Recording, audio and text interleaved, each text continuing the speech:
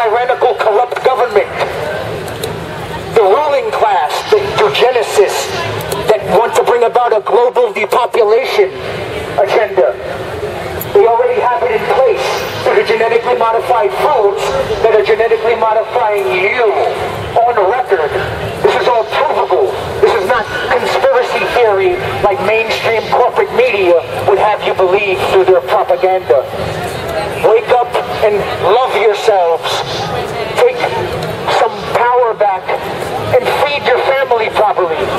Educate yourselves on your rights because the tyrants in uniform, they're counting on you not knowing your rights. Because every human being has an ego, and when you got a Glock 9 and a bulletproof vest, your ego kind of gets pumped up. Especially if you were picked on in high school. I love you, humanity. I love your innocence. And I despise how we're being attacked. We're waking up. We're rising up peacefully, informing ourselves.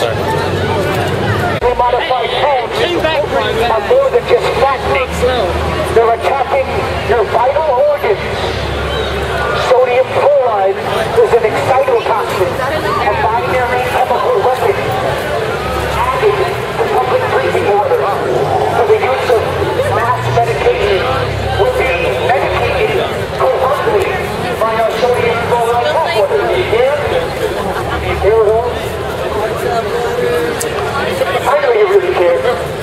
That it feels good to be like a, a, a, naysayer or a rebel.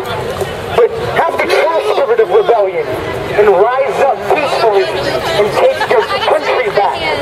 Take the planet back from pot-belly pedophiles in power.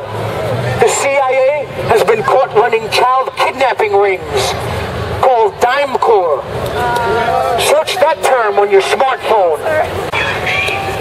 Infowars.com. Go to the Drudge Report. Go to all sorts of alternative media to learn exactly the specifics of how we're being attacked by our murderous government. How you're being spied on every second of your lives. Just in case you rise up to the fact that we're being raped by offshore private banks. I love you all. Guys, on the side, on the sidewalk, please. Let's resist this.